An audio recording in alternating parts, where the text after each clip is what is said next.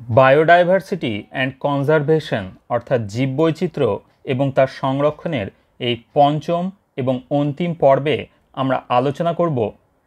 Biodiversity সংরক্ষণের প্রয়োজনীয়তা এবং বায়োডাইভার্সিটি সংরক্ষণের বিভিন্ন পদ্ধতি নিয়ে। সুতরাং প্রথমে দেখে নেওয়া যাক বায়োডাইভার্সিটি কনজারভেশনের প্রয়োজনীয়তা ঠিক কী।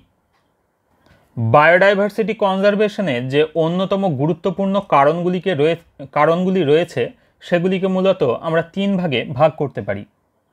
প্রথমত, ন্যারোলি ইউটিলিটেরিয়ান, অর্থাৎ সংকীর্ণ বা অপেক্ষাকৃত কম গুরুত্বপূর্ণ কারণ।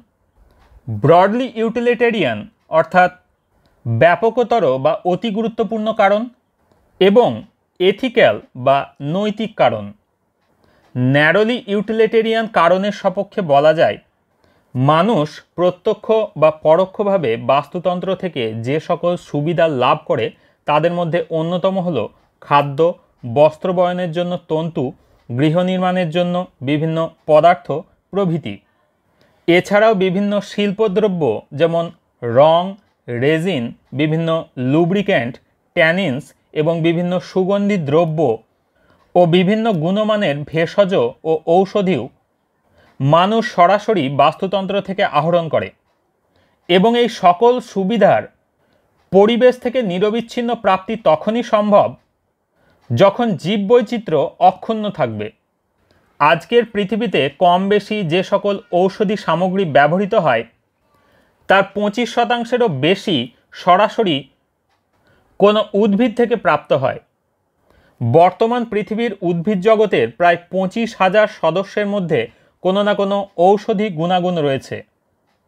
আর ব্রডলি ইউটিলিটেরিয়ান কারণ আলোচনা করতে গেলে প্রথমেই উল্লেখ করতে হয় বিভিন্ন ইকোসিস্টেম সার্ভিসেসের কথা। প্রাকৃতিক পরিবেশ এবং সম্পূর্ণ সুস্থ একটি বাস্তুতন্ত্র থেকে মানুষ বিভিন্ন সময়ে যে বৈচিত্র্যময় সুবিধাগুলি লাভ করে তাই হলো আসলে বাস্তুতন্ত্র দ্বারা প্রদত্ত পরিষেবা বা ইকোসিস্টেম সার্ভিসেস। কোনো একটি বাস্তুতন্ত্র প্রদত্ত এই সুবিধা বা ইকোসিস্টেম সার্ভিসেস কতটা ফলপ্রদ বা কার্যকরী হবে, তা নির্ভর করে সেই বাস্তুতন্ত্রের বায়োডাইভার্সিটির ওপর। আমরা পূর্বে উল্লেখ করেছি Amazon rain ফরেস্টকে the lung of the planet বলে অভিহিত করা হয়।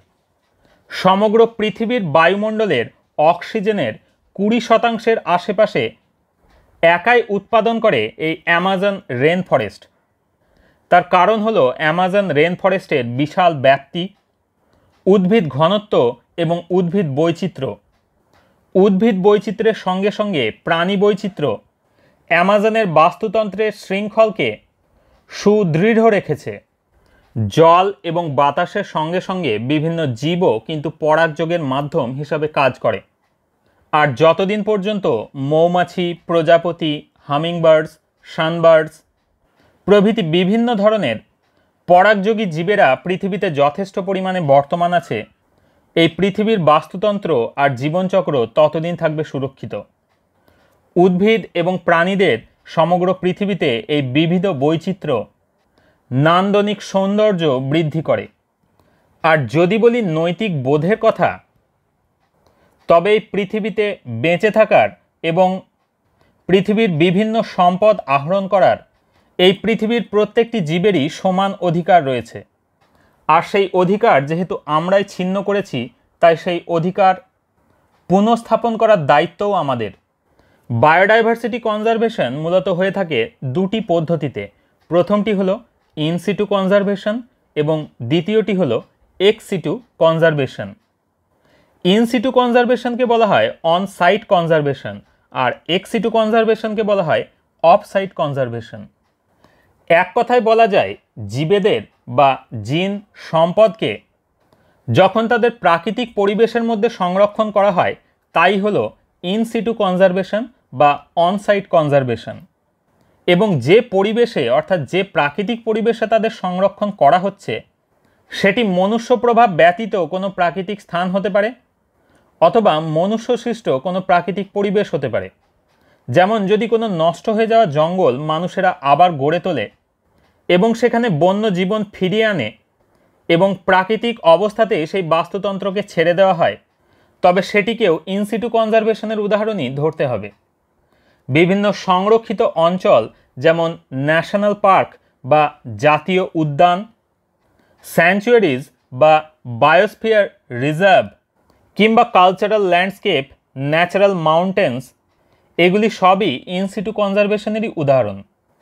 এনসিইআরটি দু হাজার একুশ মতে ভারতবর্ষে চোদ্দোটি বায়োস্ফিয়ার রিজার্ভ নব্বইটি জাতীয় উদ্যান এবং চারশো আটচল্লিশটি ওয়াইল্ড লাইফ স্যাঞ্চুয়ারিজ অর্থাৎ অভয়ারণ্য রয়েছে।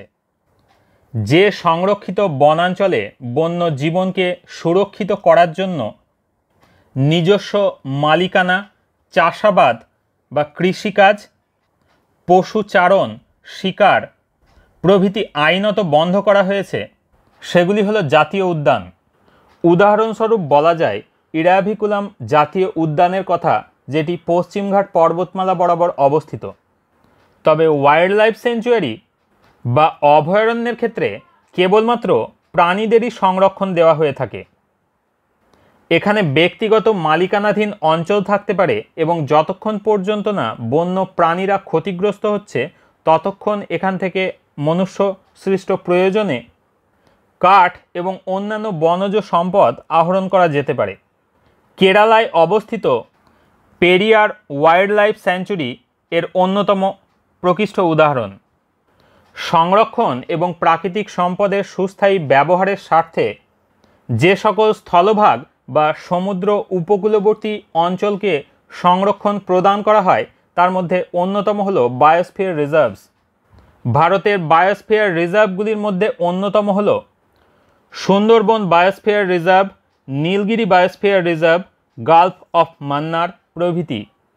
ধর্মীয় বিশ্বাসে মানুষ যখন কোনো বনাঞ্চলকে সুরক্ষা এবং সংরক্ষণ প্রদান করে, তখন তাকে বলা হয় স্যাক্রেড ফরেস্ট বা স্যাক্রেড গ্রোভ অর্থাৎ এক কথায় পবিত্র জঙ্গল। মেঘালয়ে অবস্থিত খাসি এবং জয়ন্তিয়া পাহাড়ের কিছু অংশ অথবা রাজস্থানের আরাবল্লী পর্বতের কিছু অংশে এরকম স্যাক্রেড গ্রোভ লক্ষ্য করা যায়। পবিত্র জঙ্গলের আরও উদাহরণ খুঁজে পাওয়া যায় কর্ণাটকের পশ্চিমঘাট পর্বতমালার বিভিন্ন অংশে অথবা মধ্যপ্রদেশের সারগুগা, ছন্দা বা বাস্তর অংশে। যখন জীবেদের প্রাকৃতিক পরিবেশের বাইরে সংরক্ষণ প্রদান করা হয়, তখন সেই ঘটনাকে বলা হয় এক্সিটু কনজারভেশন বা অফসাইট কনজারভেশন, যার উদাহরণ হলো genetic resource centres, zoological park wildlife safari park, botanical gardens, gene banks এবং ক্রায়ো প্রিজারভেশনস জীববৈচিত্র্য সংরক্ষণের অন্যতম একটি মানদণ্ড হল বায়োডাইভার্সিটি হটস্পটস। কোনো বাস্তুতন্ত্রকে জীববৈচিত্র্য হটস্পটের মান্যতা পেতে গেলে সেখানকার স্পিসিস রিচনেস হতে হবে খুব বেশি। সেখানে যথেষ্ট পরিমাণে এন্ডেমিক প্রজাতি বর্তমান থাকতে হবে এবং যেগুলির অধিকাংশই হবে থ্রেটেন্ড তালিকাভুক্ত। সমগ্র পৃথিবীতে এরকম চৌত্রিশটি বায়োডাইভার্সিটি হটস্পট রয়েছে। এবং ভারতবর্ষে সেই বায়োডাইভার্সিটি হটস্পটের সংখ্যা হলো তিন, যেগুলি হলো যথাক্রমে ওয়েস্টার্ন ঘাটস, শ্রীলঙ্কা, অর্থাৎ পশ্চিমঘাট পর্বতমালা ও শ্রীলঙ্কা ইন্দো বার্মা অঞ্চল এবং হিমালয় পর্বতমালা অঞ্চল। এই চৌত্রিশটি হটস্পট মিলে সমগ্র পৃথিবীর প্রায় দুই শতাংশেরও কম জায়গা অধিগ্রহণ করে রয়েছে। কিন্তু এই সকল হটস্পট হটস্পটে যে সকল প্রজাতি বর্তমান তাদের প্রাচুর্য বা স্পিসিস রিচনেস কিন্তু অত্যধিক। এই সকল হটস্পট সংরক্ষণের মাধ্যমে প্রজাতির বিলুপ্তি তিরিশ শতাংশ পর্যন্ত কমিয়ে আনা যেতে পারে এবং এই বায়োডাইভার্সিটি কনজারভেশনের উদ্দেশ্যেই উনিশশো বিরানব্বই খ্রিস্টাব্দে রিও ডি জেনিরোতে আর্থ সামিট বা পৃথিবীর শিখর দেশীয় সম্মেলন অনুষ্ঠিত হয়েছিল। এই সম্মেলনের উদ্দেশ্য ছিল প্রধানত জীববৈচিত্র্যের সংরক্ষণ, প্রাকৃতিক সম্পদের সুস্থায়ী ব্যবহার, জেনেটিক রিসোর্স থেকে প্রাপ্ত সুবিধার সমবন্টন। আর দু হাজার দুই সালে সাউথ আফ্রিকার জোহানেসবার্গে পৃথিবীর একশো নব্বইটি দেশ বর্তমান জীববৈচিত্র্য হ্রাসের হারকে কমিয়ে আনতে প্রতিজ্ঞাবদ্ধ হয়।